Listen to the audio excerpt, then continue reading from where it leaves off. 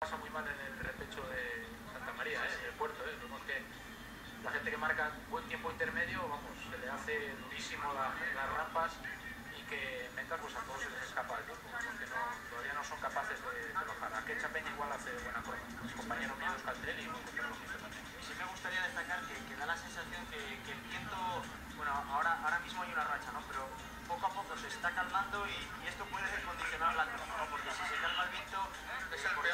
esta parte de Asturias siempre cuando se para el viento empieza a llover y puede, puede complicar eh, mucho la crono para los favoritos y, facilitarla para, para un Castro Viejo que, bueno, recordemos que sigue marcando el mejor tiempo desde, prácticamente que empezamos la, la retransmisión.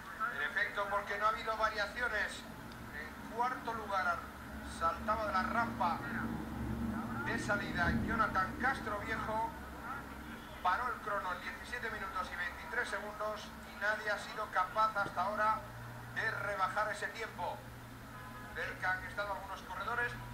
Mosquera, ¿no? Prácticamente ya desde ahora, de- después de Peña, pues eh, va Ezequiel Mosquera, que yo